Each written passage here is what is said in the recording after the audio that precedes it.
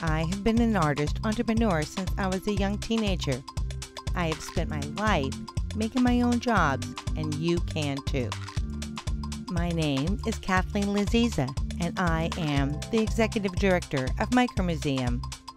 This series is called Make It Your Own.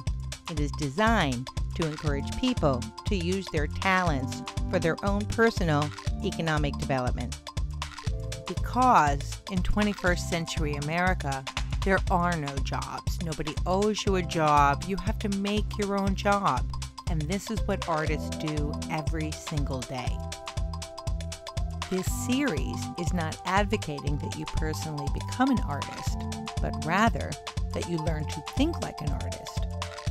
Listen to these artists talk about their experiences. Episode 1 Know Who You Are.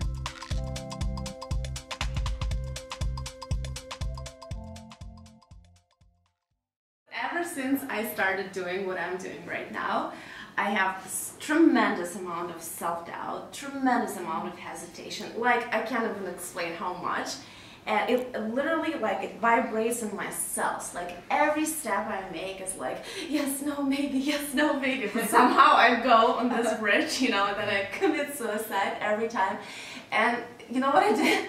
Like, recently, I was talking to my friend and uh, I was like, hey, dude, we gotta figure it out. We have a long way to go. We haven't even achieved our biggest things yet. I'm gonna die with this self-doubt and everything. And he's like, yeah, listen, I think it's not gonna change. Why don't we just embrace it?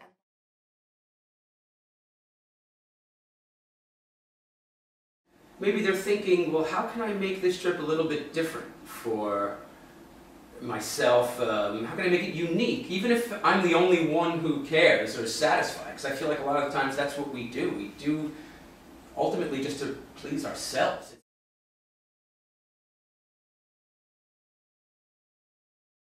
I have a, where I work right now, I have a window on the street, and I stick stuff out in that window. I like making people think about what's behind the window.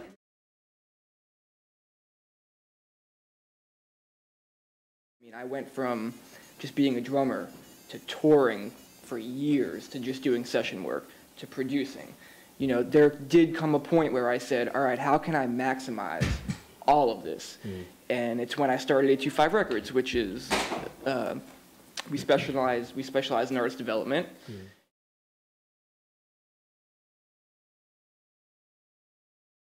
The way I work is, is just very intuitive.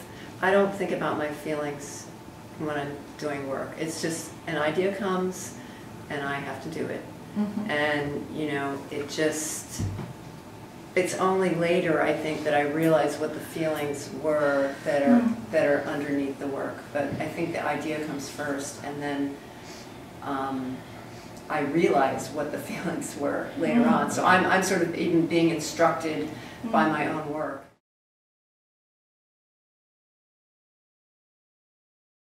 So more I think like I have priorities and I have missions. Like I don't even think about like I don't even think about it as activism. I think about it as like my job.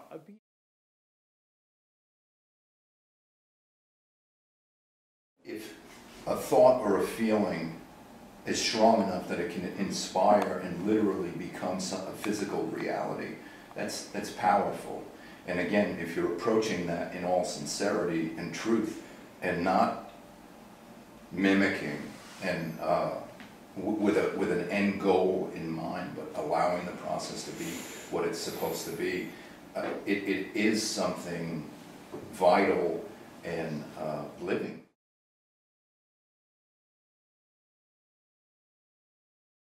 This idea of where, the, where my impact is happening, and I think uh, uh, outer impact on the world uh, happens at every level, and my ego wants it to happen at great, big, huge, spectacular spectacles levels. And the last year I've been working on letting go of that and going with more like Jamie the, the music box, you know, the, the, the and just let, letting, letting that be um, the statement. So for me it's been working with simpler and simpler light forms because light and time are really my two mediums. Uh, And so it's, it's been going to the, the purer and purer form of just like a single bowl kind of thing.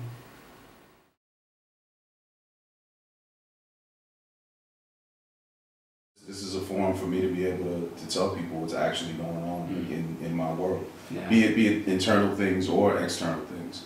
Um, and I, I think, you know, again to go back to the whole it, it being important to, to be a voice, you know, like I I don't know if I speak for everyone, but I know that I speak for I definitely speak for people some people that don't have a voice.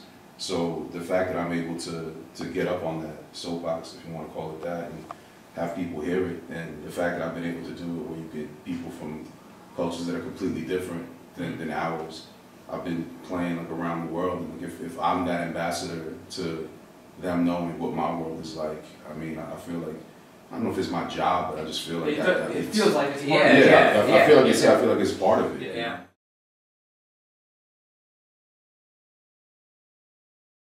I don't think this is just me personally. I think a lot of times there can be some kind of jarring experience, an unhappy or unpleasant experience in life um, that causes you to shift into opening up in that way. Mm-hmm. And then maybe that's part of what sends people mm-hmm. into being more devoted to understanding and working with their own creative impulse.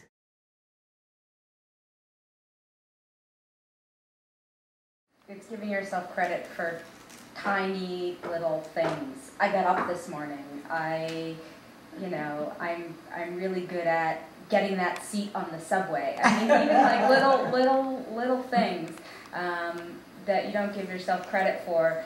That can giving yourself all that credit can can build up. It's really hard to give yourself credit for the big things. So the little things will help hold up the big thing.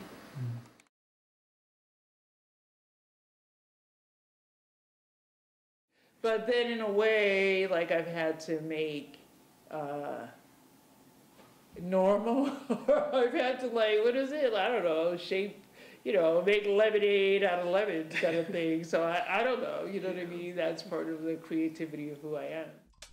Here are three steps to remember.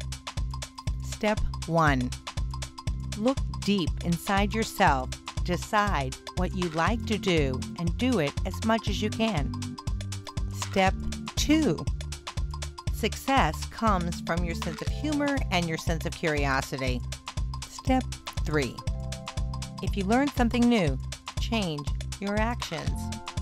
To learn more about this series, make it your own, visit micromuseum.com.